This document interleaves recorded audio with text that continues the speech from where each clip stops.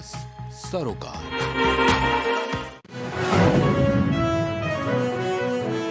लखनऊ में चौदहवें दीक्षांत समारोह का आयोजन इंटीग्रल विश्वविद्यालय में हुआ आयोजन।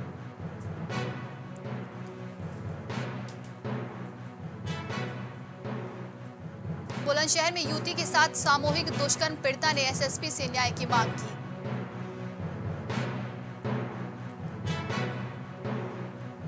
फतेहपुर में बिजली विभाग के संविदा कर्मियों की हड़ताल। तीन दिन से हड़ताल पर है संविदा कर्मी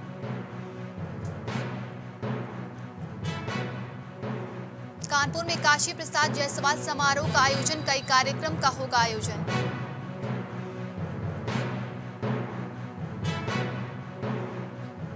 लखनऊ में ज़मीन के प्रकरण में व्यक्ति पर हमला, पुलिस ने पीड़ित को ही भेजा जेल।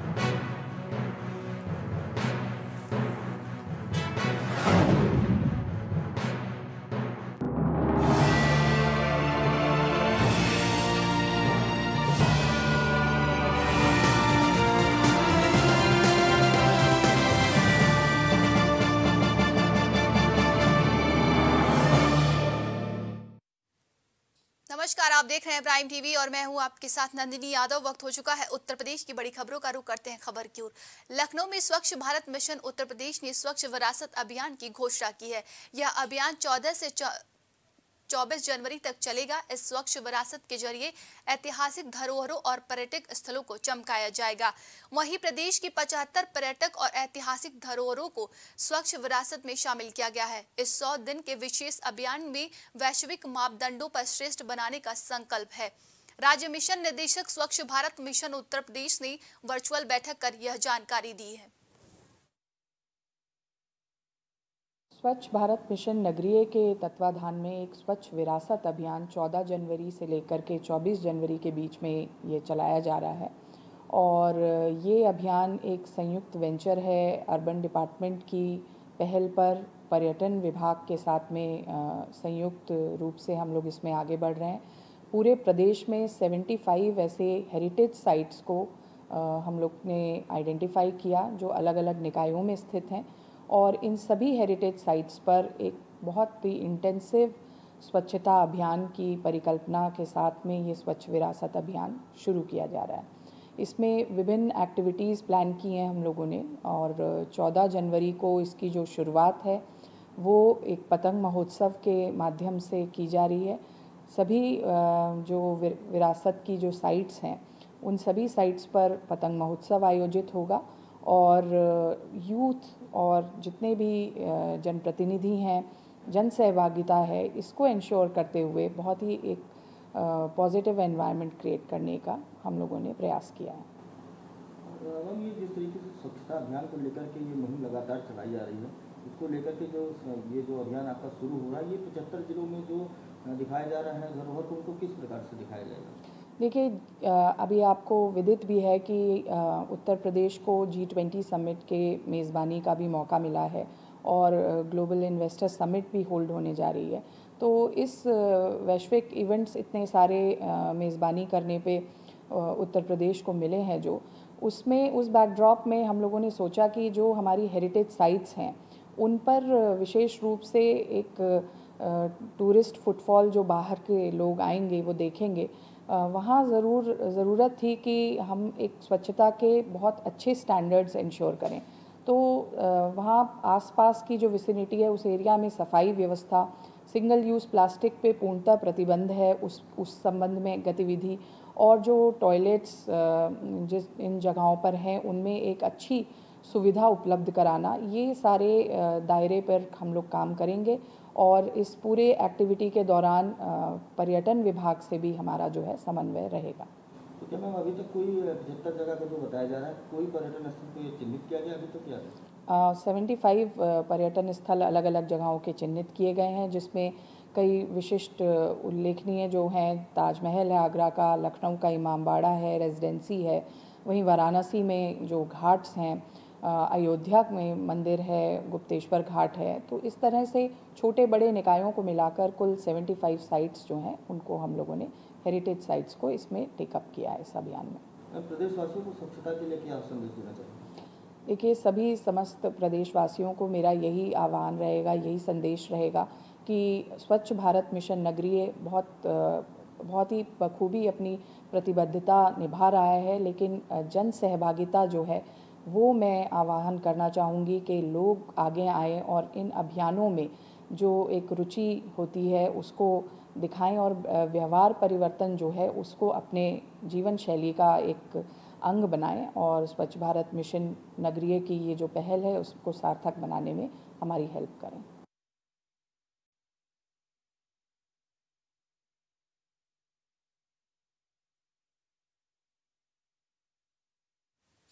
लखनऊ के इंटीग्रल विश्वविद्यालय में चौदहवें दीक्षांत समारोह का आयोजन हुआ। इस कार्यक्रम में मुख्य अतिथि के रूप में रक्षा मंत्री राजनाथ सिंह शामिल हुए। इनके साथ deputy CM Brajesh Pathak, guest of honour के रूप में शामिल हुए। वहीं इस दीक्षांत समारोह में यूनिवर्सिटी के टॉपर को गोल्ड मिला और सेकेंड टॉपर को सिल्वर मेडल मिला।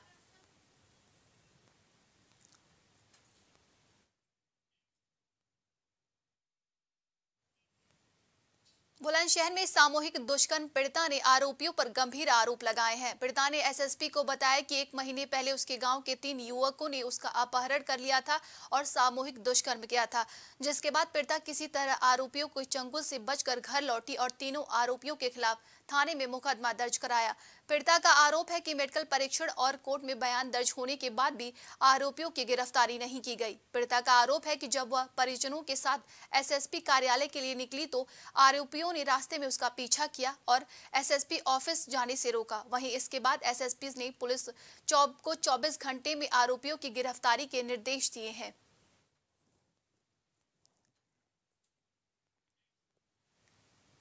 फतेहपुर में पीएफ और वेतन को लेकर बिजली विभाग के संविदा कर्मी तीन दिन से हड़ताल पर हैं। तीन दिन की हड़ताल के बाद आज संविदा कर्मियों ने कार्यालय अधीक्षण अभियंता के सिर बाल मुंडवा कर विरोध प्रदर्शन किया है। आपको बता दें कि बिलिंग कंपनी, स्टरलेजिंग टेक्नोलॉजी और ओरियन ने कर्मचारियों के पीएफ और वेतन का घोटाला किया है, जिसको लेकर कर्मचारी आंदोलन पर हैं।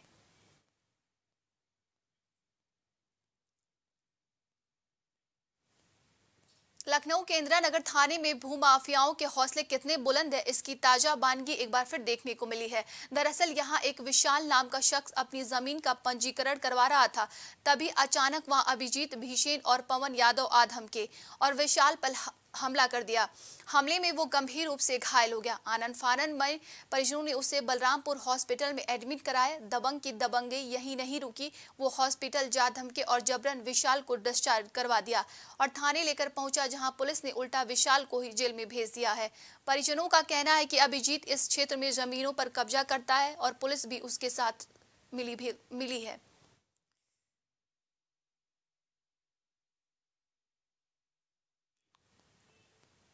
कानपुर में 15 जनवरी को लाजपत भवन में मोती झील में काशी प्रसाद जायसवाल समर्पित समारोह आयोजित किया गया है, जहाँ मेधावी छात्र अभिनंदन, बुज़ुर्ग सम्मान और नृत्य प्रतियोगिता समेत कई कार्यक्रम आयोजित किए जाएँगे।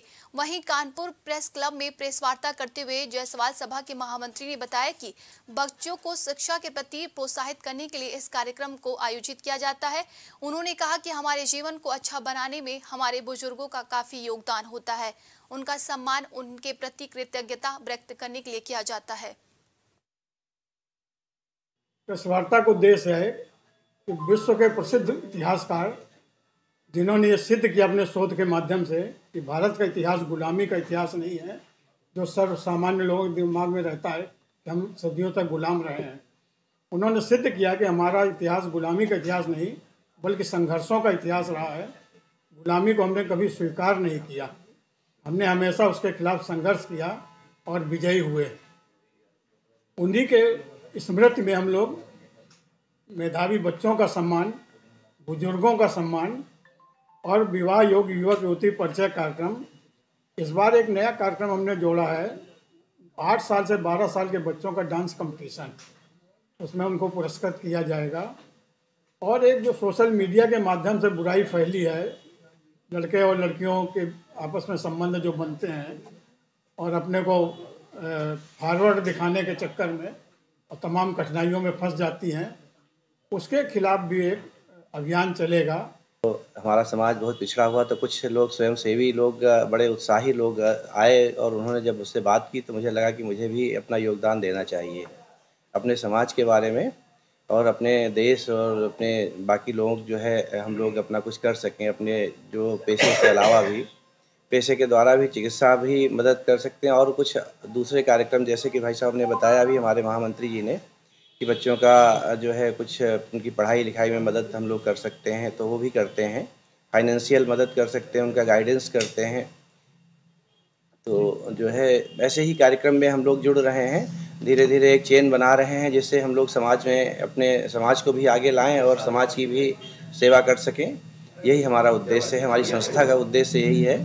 यात्रा ये विवेकानंद केंद्र कन्याकुमारी के 50 वर्ष 2022 में पूरे हुए। तो 50 वर्ष पूरे होने के उपलक्ष्य में ये यात्रा विवेकानंद संदेश यात्रा के नाम से उत्तर प्रदेश में लखनऊ से कल शुरू हुई है। 12 जनवरी, स्वामी जी की जयंती से शुरू हुई है। और ये यात्रा जो है आगे बाराबंकी अयोध्या काशी नहीं बस इक्कीस जिलों से होकर ये यात्रा निकलेगी। कानपुर 21 जनवरी को सायं सात बजे ये यात्रा आगमन होगा। कानपुर के विवेकानंद केंद्र कन्याकुमारी उत्तर प्रदेश प्रांत ने कानपुर प्रेस क्लब वार्ता का आयोजन किया जहाँ प्रेस वार्ता के दौरान बताया गया कि भारत सरकार के संस्कृति मंत्रालय के सहयोग से विवेकानंद संदेश यात्रा का आयोजन किया जा रहा है। यह संदेश यात्रा नेताजी सुभाष चंद्र बोस की जयंती तक 21 जिलों में भ्रमण करते हुए लखनऊ में समाप्त होगी। वहीं उत्तर प्रदेश प्रांत के व्यवस्थक ने बताया कि विवेकानंद केंद्र के 50 वर्ष पूरे होने पर यह संदेश यात्रा निकाली जा रही है।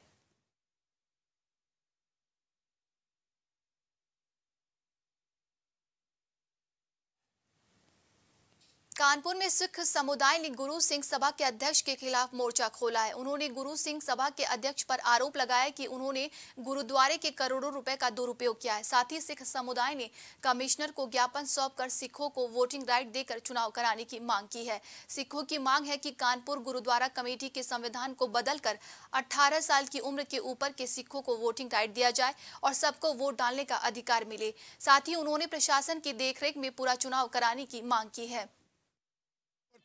हमारी शुरू से एक डिमांड है, आपके सामने हम एक ही फरियाद लेके आए हैं और जिला प्रशासन के पास लेके आए हैं कि कानपुर का हर सिख जिसकी आयु 18 साल के ऊपर है, वो सिंह सभा का मेंबर गिना जाए। करोड़ों रुपए की प्रॉपर्टी, करोड़ों रुपया हमारा बर्बाद हो रहा है, जो सिख कम्युनिटी के काम नहीं आ रहा है। हमारे स्कूलों का आकार, साकार जो उनका है, वो सब बदल दिया गया है। वहाँ पर तेईस, चौबीस जो पोस्टिंग्स की गई। उन सारी की सारी पोस्टिंग अदर कास्ट से की गई। It is a Sikh gurdwara जहाँ गुरु नानक नाम लेवा हम लोग चाहते थे कि वो आके इस पर बैठ के गुरु नानक के धर्म का प्रचार प्रसार भी हो। इनके साथ एक डेलीगेशन यहाँ पर मिलने के लिए आया था। इन्होंने प्रमुख रूप से अपनी जो समस्या है उसको बताते हुए ये जिला प्रशासन से और हमसे अनुरोध किया है कि श्री गुरु सिंह सभा लाटूस रोड कानपुर का चुनाव पारदर्शी तरीके से हो, प्रशासन की देखरेख में हो और इसके जो स्टेट बाय लॉज हैं, उनको जो इनके अनुसार ये निरर्थक हो चुके हैं। इन्हें बदलकर जो उसकी सदस्यता है, उसके नियम वगैरह उसमें इंक्लूड कर दिए जाए। इन के द्वारा जो मेमोरेंडम दिया गया है, जिलाधिकारी को भी इनके द्वारा मेमोरेंडम दिया जाएगा। पुलिस और जिला प्रशासन बैठकर इस पर वार्ता करेगा। और जो भी उचित कदम होते हैं, वो उठाने का प्रयास करें। लखनऊ विधानसभा अध्यक्ष सतीश महाना एक नई पहल करने जा रहे हैं। उनका कहना है कि हम हर साल बेस्ट एमएलए अवार्ड देंगे। इसके लिए चयनित समिति बनाई जाएगी, जो विधायकों को उनके कामों को देखते हुए उत्कृष्ट अवार्ड सौंपेगी। इस समिति के मुखिया विधानसभा अध्यक्ष खुद होंगे। वहीं उन्होंने जी ट्वेंटी का ज़िक्र करते हुए कहा कि इस समिट में हर विधानसभाओं को अपने बारे में जानकारी रखने का अवसर मिलेगा।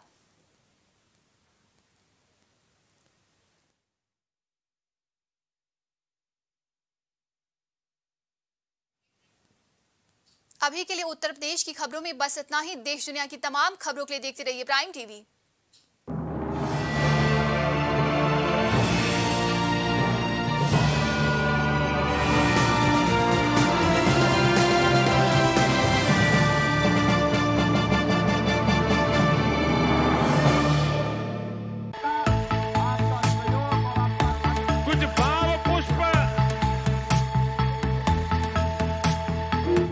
देख रहे हैं प्राइम टीवी सच साहस सरोकार।